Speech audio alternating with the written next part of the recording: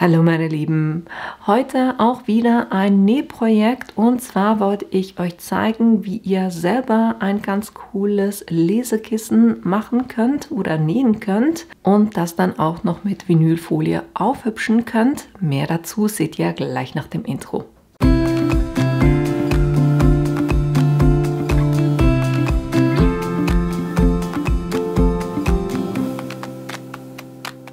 Ich habe für dieses Projekt ein paar Stücke Stoff und Flieseline und eine Schabrackeneinlage und das habe ich alles geschnitten mit dem Rollschneider und dem Schneidelineal. Ich gebe euch als erstes kurz die Maße. Hier habe ich ein Stück Stoff, was 37 cm in der Länge und 10 cm in der Höhe ist. Dazu dann die Schabrackeneinlage, die habe ich geschnitten auf 35 cm, nämlich dass hier am Ende 1 cm Nahtzugabe ist und in der Höhe sind es 4 cm. Dann habe ich hier solche Ecke und zwar sind das die Seitenteile, weil das wird so quasi eine Rampe haben. Das heißt, hier ist es kürzer und hier ist es länger. Und da habe ich einen Stoff, der ist 32 cm in der Länge. Hier ist es 7 cm und hier ist er 24 cm und das habe ich dann einfach verbunden und diese Strecke noch geschnitten. Und da legt ihr am besten den Stoff entweder rechts auf rechts oder links auf links, weil ihr müsst ja ne, die gegenversetzt oder gespiegelt haben quasi. Also zwei Stück davon je auf eine Seite. Und die Flieseline ist hier schon drauf. Da habe ich 30 cm, hier sind es 5 cm, hier sind es 22 cm. Auch hier natürlich dann gespiegelt. Und vielleicht ein Tipp hier auch gleich, ich mache das jeweils so, dass ich zuerst quasi die Flieseline schneide und da einfach gucke, dass ich zwischen den Stücken, die ich dann aufbügle, das heißt, ich nehme dann die Flieseline, lege sie auf den Stoff in die Ecken, so möglichst platzsparend, aber trotzdem, dass der Fadenverlauf schön parallel ist und bügle das auf und erst dann schneide ich den Stoff. Das heißt, ich muss immer gucken, dass ich zwischen den Stücken mindestens zwei Zentimeter Platz habe auf allen Seiten, weil dann geht es eigentlich einfacher, weil dieser Stoff, wenn der nicht mit Flieseline hinterlegt ist, dann verzieht der sich schon und das ist ein bisschen schwierig zum Schneiden. Deshalb mache ich es so, dass ich zuerst die Flieseline aufbügle, weil dann kann ich wunderbar den Schneiderlineal nehmen, hier die Flieseline bei einem Zentimeter anlegen und dann ganz einfach den Stoff ringsherum schneiden. Geht eigentlich einfacher, da müsst ihr auch nicht zweimal messen, sondern könnt es nur für die Flieseline machen und den Stoff dann so entsprechend zuschneiden. Dann hier habe ich, das wird das vordere Stück, das sind 37 cm, 7 cm in der Höhe und die Flieseline deshalb 35 cm und 5 cm in der Höhe.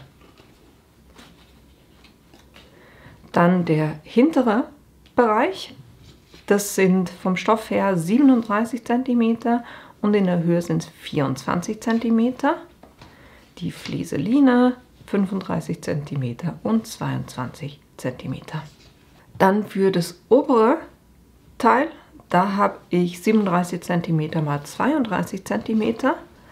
Und ihr ratet, überall 1 cm kleiner ringsherum, somit 35 cm und 30 cm.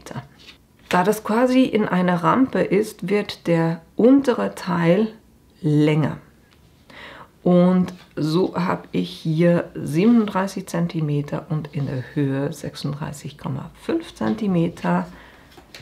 Die Flieseline 35 cm und in der Höhe 34,5 cm. Das ist das, was ihr an Stoffen braucht. Dann braucht ihr was zum Füllen. Ich habe hier Softflocks und dann werde ich auch noch was drauf machen, aber das gucken wir uns dann später an. Diese Version ist fürs iPad, aber ne, wir werden oben so einen, einen quasi eine Halterung machen wo man das dann reinstecken kann, das iPad. Aber ihr könnt es auch für Bücher machen, dann würdet ihr einfach zwei Stücke ähm, Elastik der Länge nach dann mit einnähen. Ich sage euch nachher dann, wo das dann passieren muss. Jetzt fangen wir zuerst mal mit dem Bogen oben an, wo dann das Ganze reinkommt. Hier lege ich das einfach rechts auf rechts aufeinander und so stecke ich das kurz fest.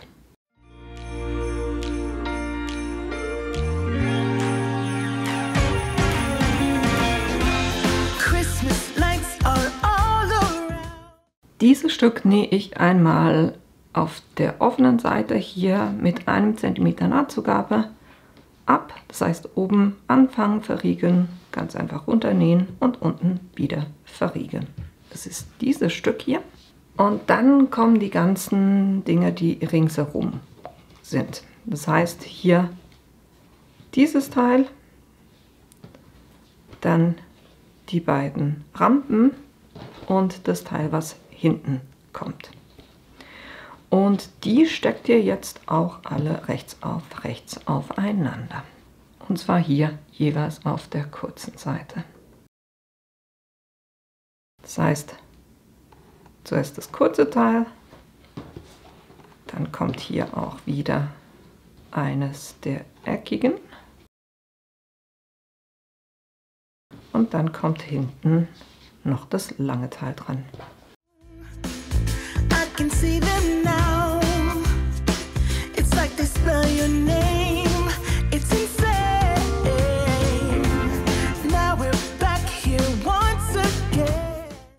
Da wir hier überall eine Flieseline haben, die 1 cm Nahtzugabe hat, könnt ihr eigentlich direkt an der Flieseline nähen. Das heißt, in allen Teilen oder Ecken hier verriegeln, runternähen, verriegeln, dann zum nächsten, oben anfangen, verriegeln, runternähen, verriegeln.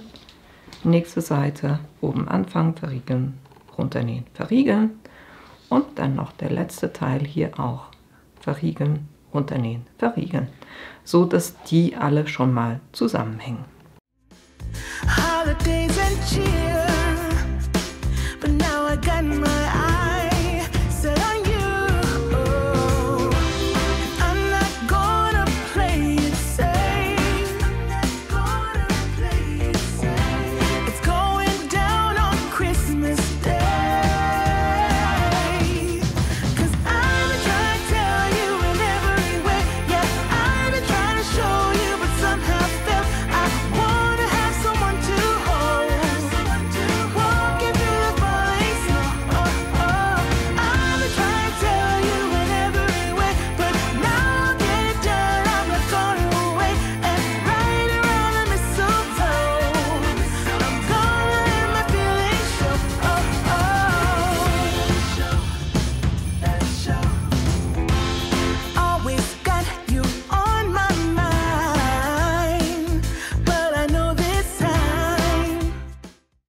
ihr das gemacht habt, dann sollte das Stück hier jetzt wunderbar zusammenhängen.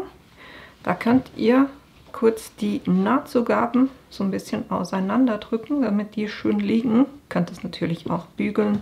Bei meinem Stoff hier, der hält wunderbar, wenn ich das einfach nur streiche.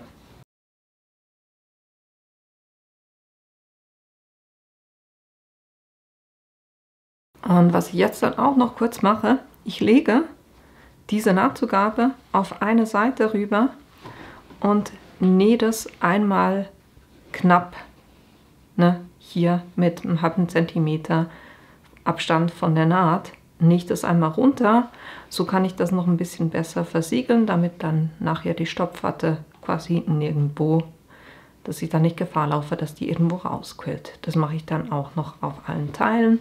Das heißt, hier auf der langen Seite klappe ich die auf die Seite und auf der kurzen Seite beide in die Richtung. Das ist eines und den hier könnt ihr einmal so ausrichten, dass die Naht quasi in der Mitte liegt, die auch runterdrücken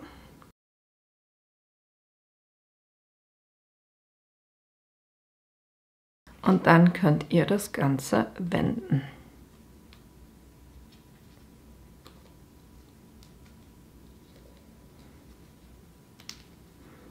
Es gibt so hübsche Wendetools, habe ich nicht, muss ich mir mal beschaffen. Ich mache das jeweils einfach mit einer Stecknadel.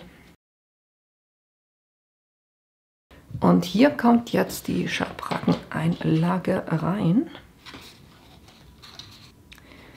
Eigentlich ein bisschen knapp. Das heißt, ich muss die kurz noch ein bisschen zurückschneiden.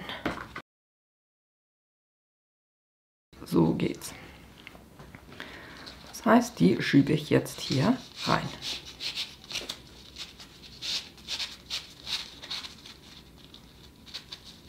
Dann sollte sie eigentlich auf beiden Seiten einen Zentimeter Abstand zum Rand haben. Die bügle ich kurz nochmal, damit die wieder ein bisschen schöner aussieht, weil auch die nähe ich noch ab und zwar auf beiden Seiten schön mit einem halben Zentimeter Abstand einfach abnähen.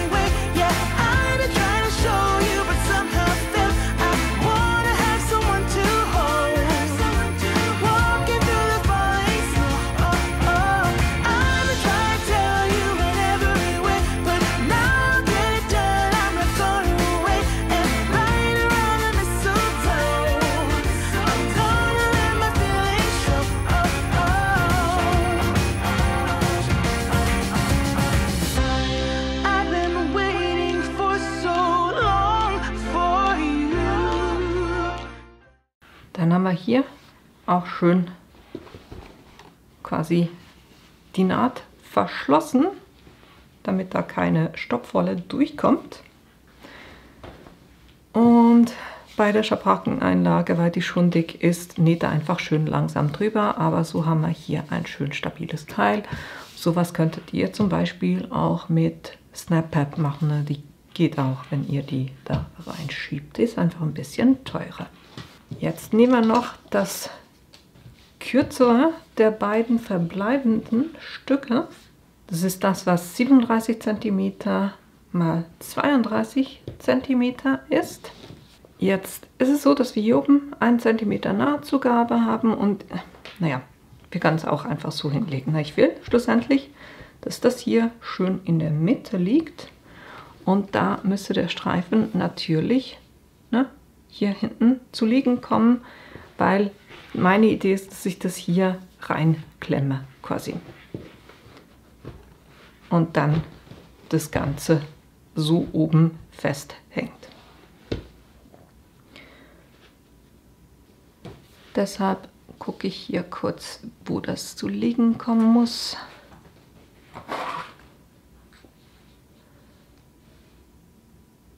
sind bei mir 6 cm vom oberen Rand.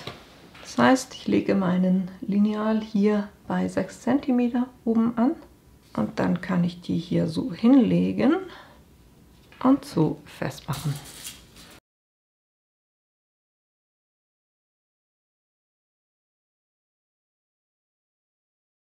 Und dann nähe ich das hier außerhalb der Nahtzugabe. Ist mir ein bisschen knapp, aber sollte gehen einfach hier am Rand, nicht das einmal vorn zurück, dass es mal da ist, wo es nachher sein soll.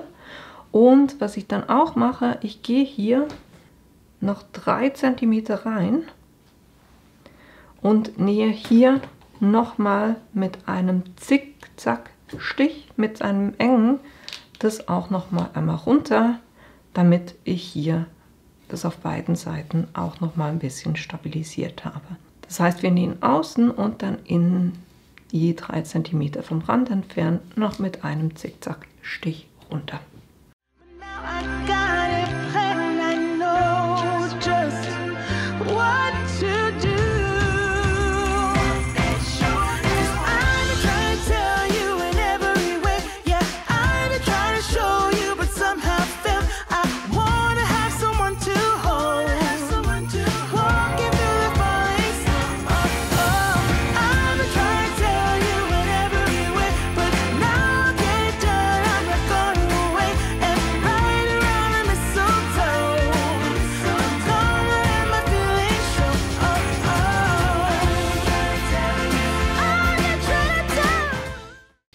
Vergessen zu sagen, das wäre jetzt für diejenigen, die das für ein Buch machen, der Zeitpunkt gewesen, wo ihr anstatt diesem Streifen hier ganz einfach von oben nach unten ähm, in der Länge einen, ein breiteres Gummiband nimmt und das hier oben festmacht und dann gerade runter und hier unten festmacht. Natürlich auch ne, gucken, dass ihr so einen gleichmäßigen Abstand vom Rand habt. So, aber so habe ich jetzt hier meinen Bogen, der wunderbar hier auch festhält. So, jetzt geht es ans Zusammensetzen. Jetzt habt ihr, der Stoff ist ja so, dass der hier rauf geht.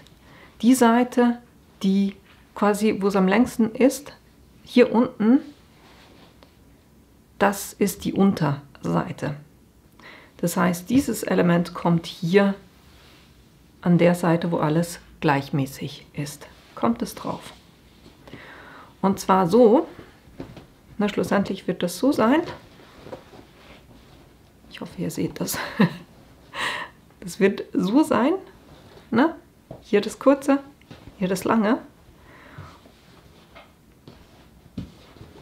Und wenn wir es rechts auf rechts drehen. Sorry. So. Rechts auf rechts, weil wir stecken das Ganze ja natürlich rechts auf rechts aufeinander. Das heißt hier, ne, der lange Teil und hier ist der Bogen dran. Ne? So stecke ich das hier oben erstmal fest. Wenn ihr sicher sein wollt, dass das wirklich schön mittig ist, könnt ihr das auch markieren kann mal meinem Stoff, weil der so stabil ist, kann ich da einfach kurz den nur falten und mit dem Nagel feststreichen.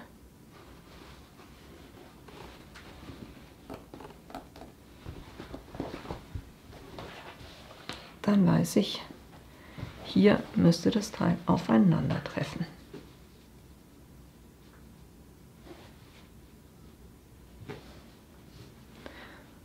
Und so mache ich das fest.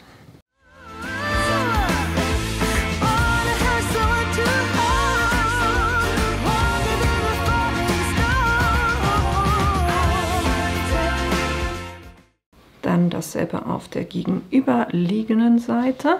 Auch da mache ich mir kurz eine Markierung.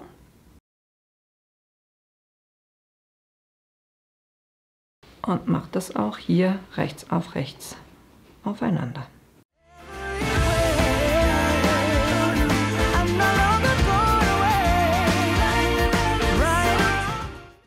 Wir machen es uns hier ein bisschen einfacher. Ich nähe hier von da, wo ich die Naht vorhin hatte, da fange ich an, nähe alles runter, auch entlang der Flieseline und nähe hier auch wieder bis da, wo die Naht aufhört.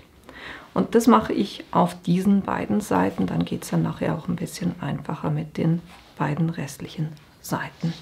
Das heißt, ich nähe das zuerst und dann mache ich diese Seiten noch beide auch fest und nähe das dann noch ab.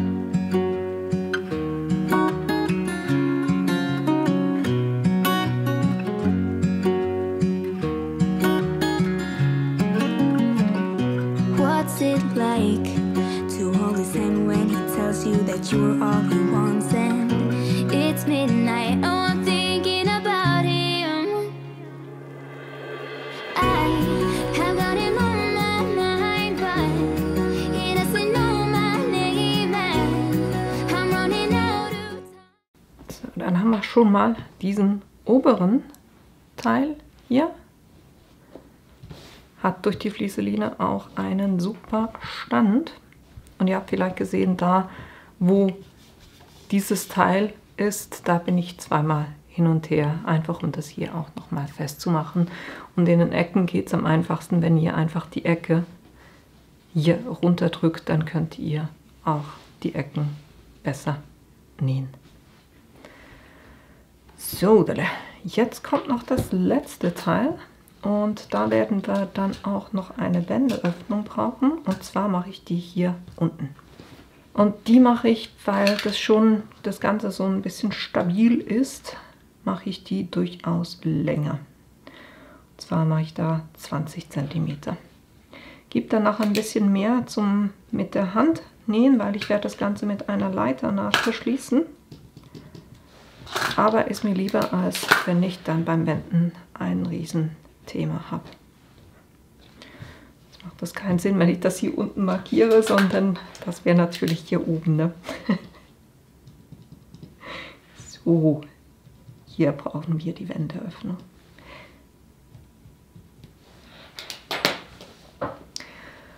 Und jetzt kommt unser letztes Teil drauf.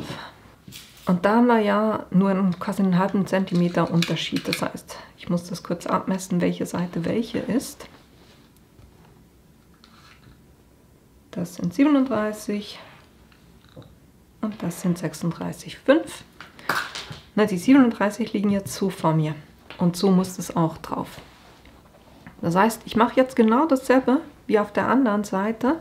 Das heißt, ich mache es zuerst hier fest, dann auf der Seite jeweils von Wendeöffnung bis zur Ecke oder bis zur Naht hier.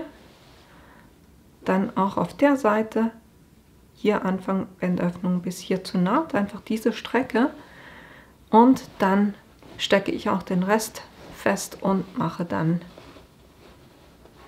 die beiden Seitenlinien auch noch.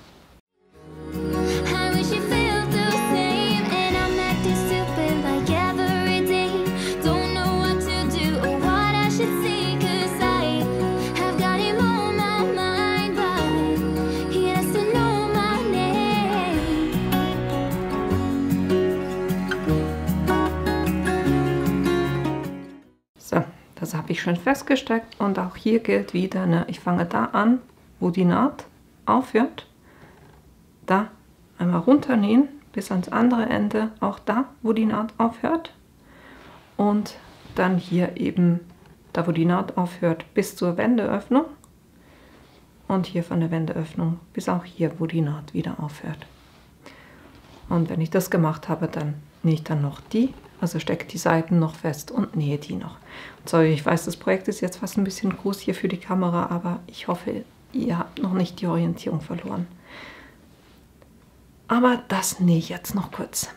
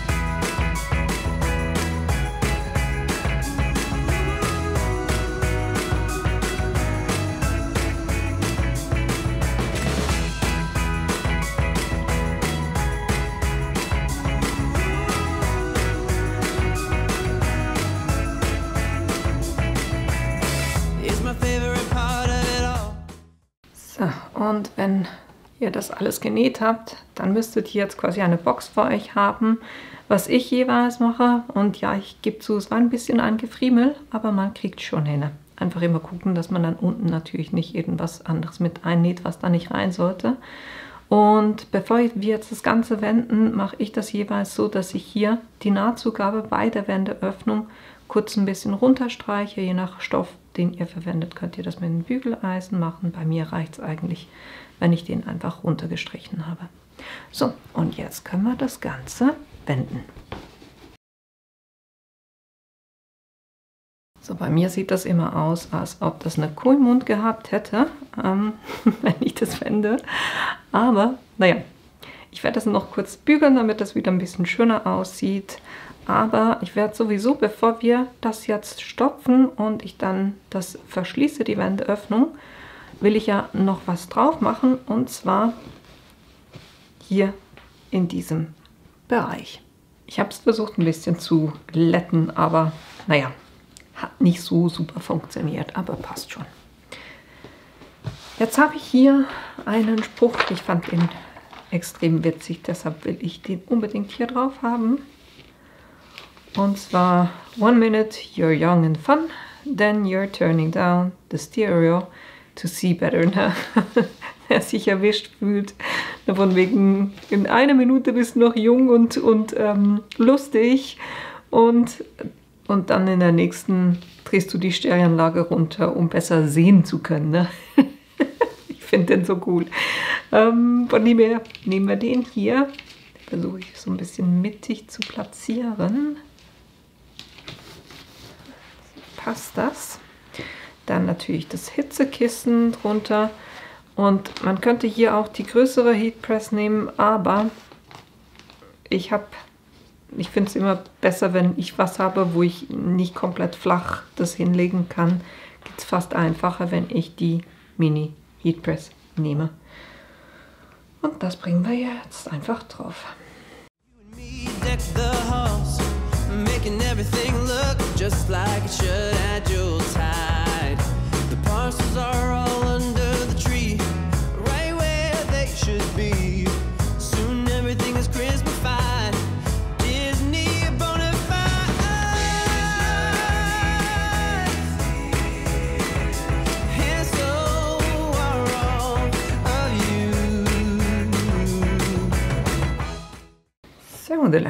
Dann haben wir das schon drauf. Und jetzt geht es darum, das Ganze zu stopfen.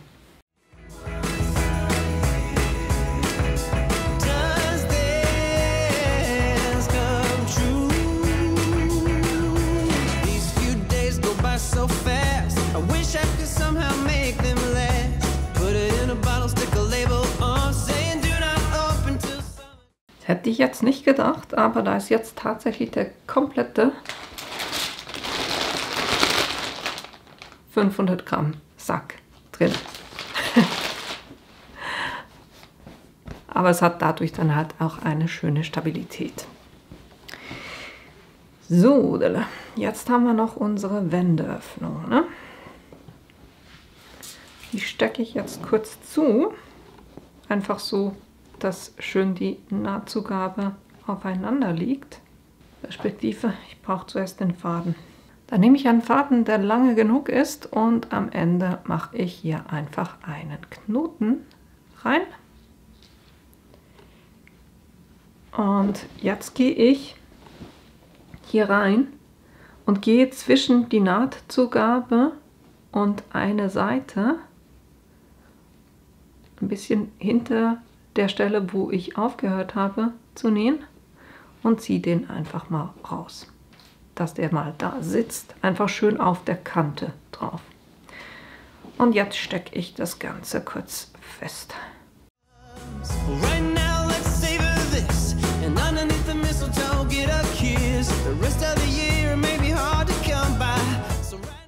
Es geht euch einfach ein bisschen einfacher, wenn ihr das so macht, als wenn ihr versucht, irgendwie zu nähen und gleichzeitig das festzuhalten.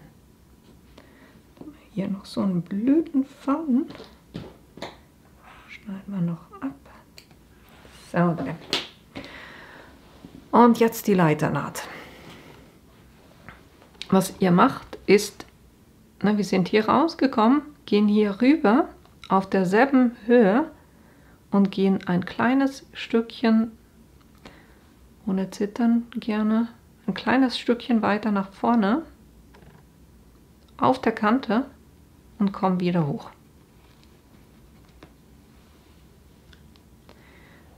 Dann gehen wir auf derselben Höhe wieder auf die andere Seite, gehen da rein und ein kleines Stückchen nach vorne auf der Kante.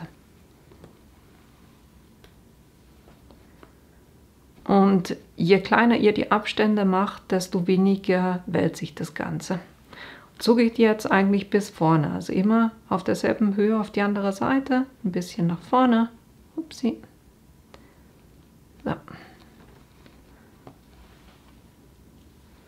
Dann wieder auf die andere Seite, wieder ein bisschen nach vorne.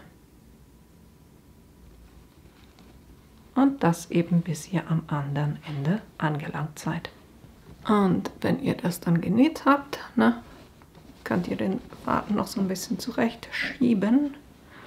Und ich nähe da immer so zwei, drei Stiche weiter, als dass ich eigentlich, also ne, hier war die Wendeöffnung eigentlich fertig, da habe ich einfach ein paar Stiche mehr gemacht. Und jetzt gehe ich nochmal so, als ob ich weiter nähen wollte.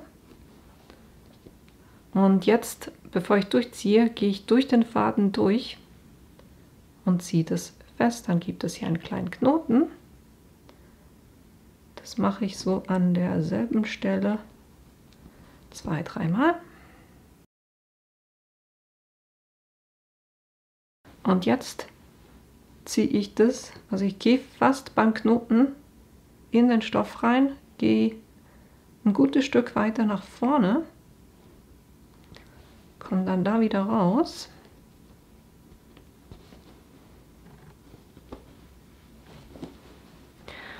Dann könnt ihr dran ziehen, bis ihr so ein Poppen hört. Das heißt, der Knoten dann quasi innen drinne verschwindet, ihr den auch nicht mehr seht und dann könnt ihr das schön abschneiden hier. Und dann ist das Ganze auch schon zu. Ich nehme euch jetzt kurz auf eine andere Perspektive, weil so seht ihr bei der Größe gar nichts. Ne? So, ich denke, so seht ihr es besser. Ne?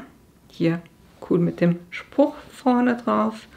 One minute you're young and fun, then you're turning down the stereo to see better.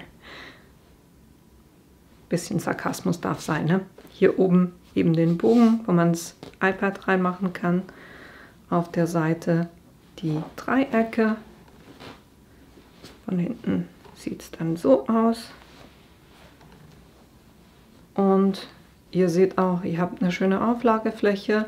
Das heißt, wenn ihr na, Sofa, Beine hoch, das auf eure Beine legt dann, dann können wir das iPad nehmen und das hier na, reinschieben. Et voilà. Das hält auch wunderbar, hat eine schöne Neigung auch, ne, wenn ihr euch das anguckt. Ich habe es wirklich so berechnet, wie wenn man das jeweils aufklappt, wie das auf der niedrigen Stufe ähm, die Neigung hätte. Aber so habt ihr wunderbar ein Kissen. Und wenn ihr das fürs Buch gemacht hättet, dann hättet ihr hier zwei Gummizüge, wo ihr dann das Buch reinmachen könntet, ohne den hier. Und dann, ja, ihr könnt euch auch überlegen, ne, wenn ihr das Buch in diesem Bereich haben wollt, dass es nicht weiter runterrutscht, könnt ihr das Gummiband klar hier in dieser Naht einnähen und oben einnähen, aber dann gleich wie ich das hier gemacht habe auf der Seite, einfach ein paar Zentimeter hochgehen und da drüber nähen und dann steht quasi das Buch dann hier drauf. Also, ne? ich hoffe, ihr versteht, wie ich es meine. aber das war auch schon das, was ich euch heute zeigen wollte, nämlich wie ihr so ein Kissen, das wirklich auch eine gute Stabilität hat, trotzdem nicht zu hart ist, damit es auch bequem ist, wenn ihr das auf euren Beinen habt. Und ja, da wunderbar das iPad reinmachen könnt. Eben, ihr könnt es auch für ein Buch machen. aber das war die Geschenkidee, die ich euch heute zeigen wollte.